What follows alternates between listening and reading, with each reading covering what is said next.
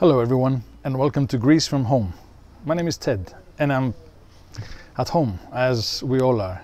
Now, I know that we would all like to be in um, somewhere nice, uh, in some nice Greek island on a holiday, but uh, hey, we've got nice sunny weather, we've got um, beautiful wines, so let's be uh, let's be grateful and um, let's stay safe.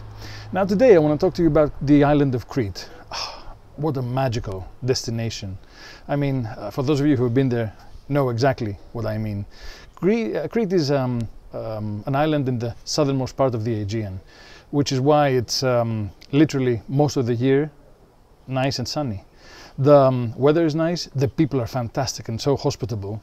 The food is delicious dairy, um, produce, meat, um, local specialties, the works. Everything you have there literally will be so mouth-watering and delicious you won't imagine.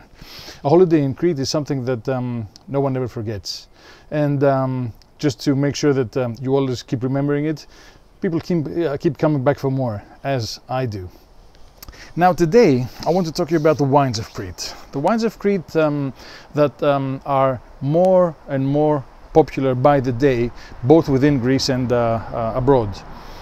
Lots of um, local grape varieties that um, people are um, loving to explore, um, both red, white, uh, quite a few rosés, um, very well made, real nice sunny weather, um, uh, warm climate, very expressive wines that are fantastically food friendly.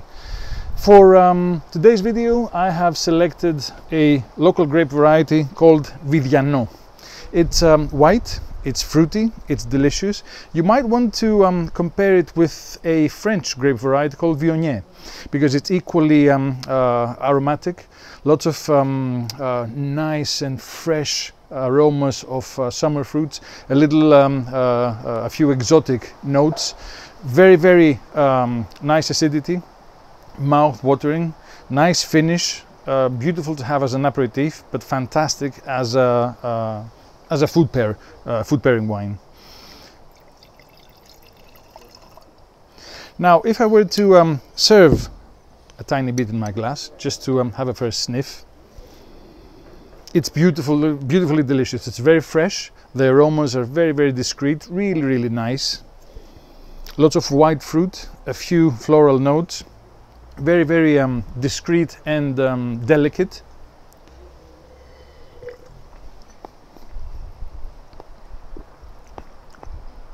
On the palate, it's very, very balanced. It's um, nicely long. All the fruity and floral notes are still there and the aftertaste is something that um, keeps you wanting uh, another slurp and another one. Very rarely you will find um, uh, uh, briefly matured in oak barrels, but for me it's at its best when you can have it fresh um, uh, on the year of the harvest, maybe for a couple of years more, just to make sure that all the aromatic expressions are there. In terms of food pairing, take your pick. I mean, uh, if um, you were in Crete, if we were in Crete, you would have it with um, lots of um, nice uh, uh, uh um, local vegetarian dishes, um, salads, um, uh, seafood, fried fish. But if you're at home, try anything from a nice starter, maybe even a nice main salad with uh, lots of fresh uh, vegetables, maybe a bit of uh, cheese. Nice um, soft white cheeses would be fantastic to pair with uh, such a wine.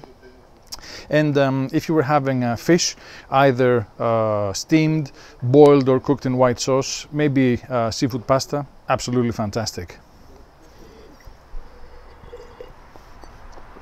This is the sort of wine that expresses the character of um, the wines of Crete very um, uh, open, very friendly, very delicate, really nicely balanced, extremely uh, food friendly and um, reminiscent of um, beautiful sunny days in this uh, gorgeous island.